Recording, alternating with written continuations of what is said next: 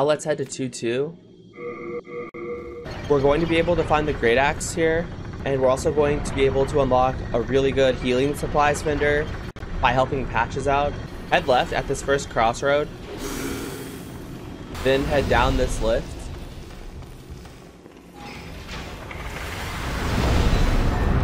Now head this way through this tunnel.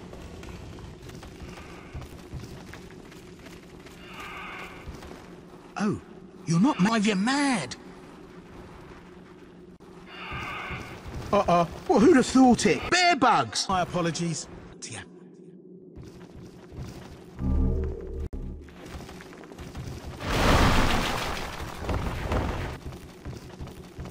You! Now patches will appear in the Nexus. The Great Axe is over here on top of this ledge.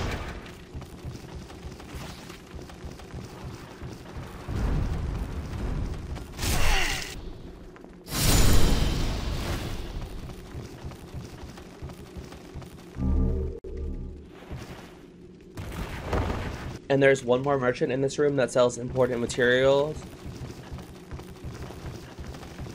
Over here, if you go down,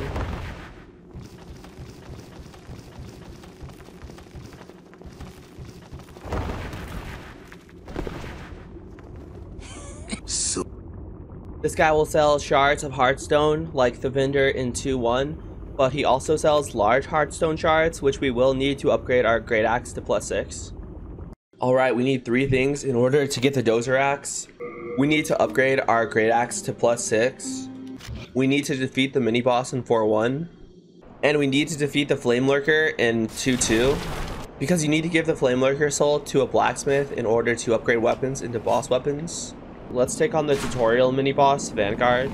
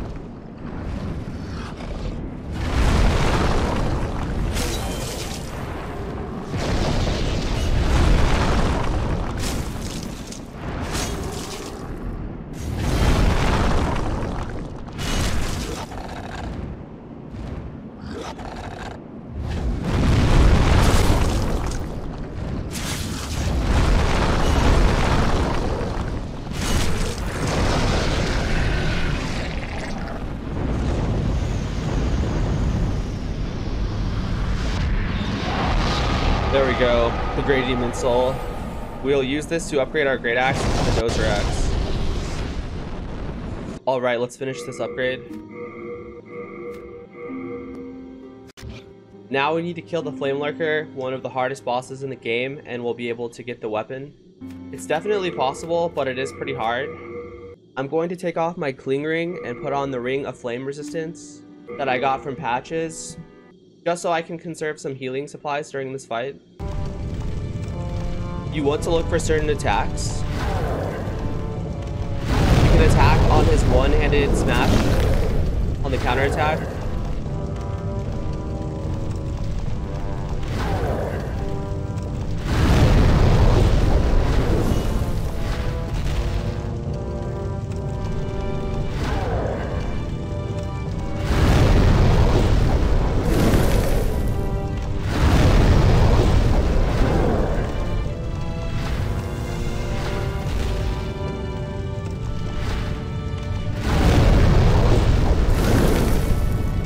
don't get too greedy.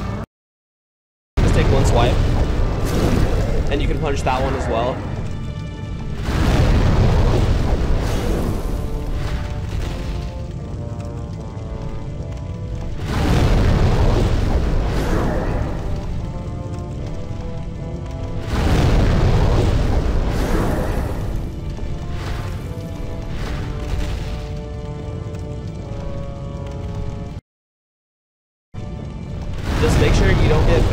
Into the wall.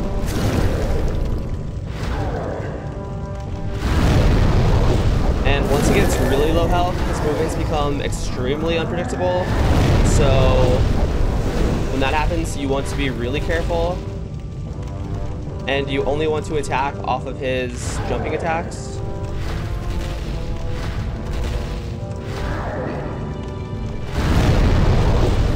Oh, I got greedy there.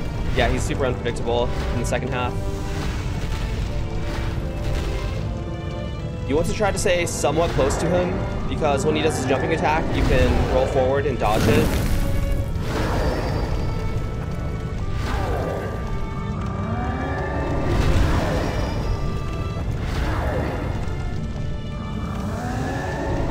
I just did it there. Oh no, I shouldn't have attacked twice. I'm, I almost died.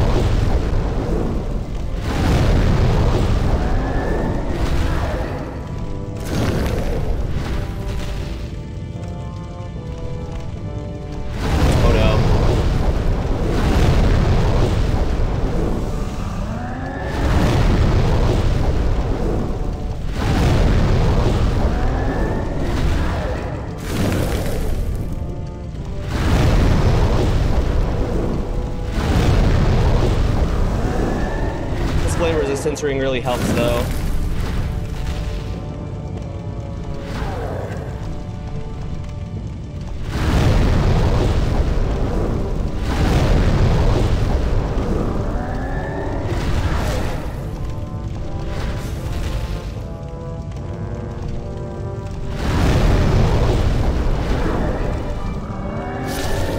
Let's go. First try.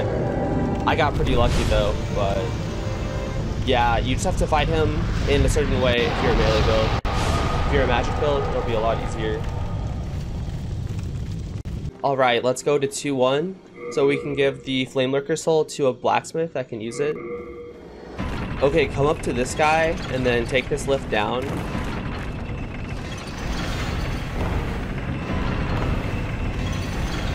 And you have to talk to this guy until his dialogue is exhausted, You and need then a you can give blacksmith. him Show the me some soul. coin.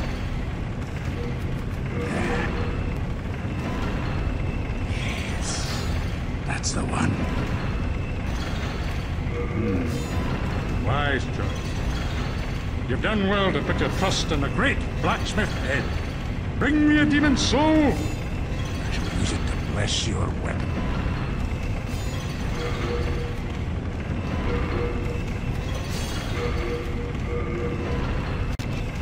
Well done. You only need 20 strength to two-hand the Dozer Axe.